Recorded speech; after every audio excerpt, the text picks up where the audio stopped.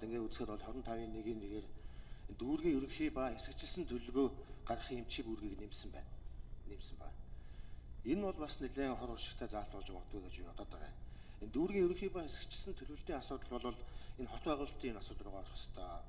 Дүүрэг болгон ингээд ерөнхий төлөвлөгөө эсэгчилсэн төлөвлөгөө гаргаад ирэх юм бол нөгөө Улаанбаатар хотын хот байгуулалт нийслэлийн ерөнхий төлөвлөгөө гэдэг зүйлдээ зөрчилдөд эхлэв шүү дээ амьдрал дээр.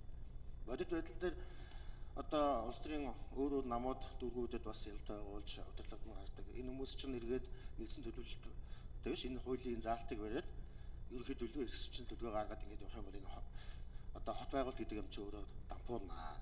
Тийм учраас энэ заалтыг ер нь авах шаардлага байгаа мó гэдгийг одоо ажлын хэсгээс бас тодруулаад үг авч байгаад хариулчвал зүгээр гэж бодоод байгаа.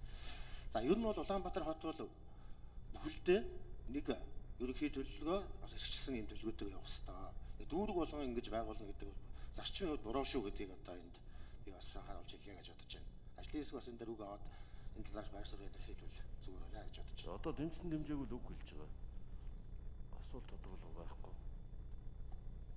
Ажлын хэсгээс үг аваад бас хэлж болно шүү дээ. Энэ өөрөө бол жоохон энэ заалтыг чинь бариад Улаанбаатар хотын төлөвлөлт чинь байх болно шүү л гэж хэлэх гээд байгаа. Ерөнхий төлөвлөгөө нэг хэсэгчсэн төлөвлөгөө чинь нэг бодлоготой нэгдүгээр бодлоготой явахгүй байх зүйл чинь энэ болно шүү. Ийм учраас энэ бол энд хуулийн нэг заалт юм шиг мөртлөө одоо үр дагавар нь их хортой зүйл болно шүү гэдэг би бас хэлээд байгаа. Тийм учраас ажлын хэсгийн дээр бас байр суурь гэдэг зүгээр байна. Борлогот байгуулалтын хуулиар зүгээр хот байгуулалтын төлөвлөгөө л байгаа юм даа. Дүүргийн төлөвлөгөө гэж. За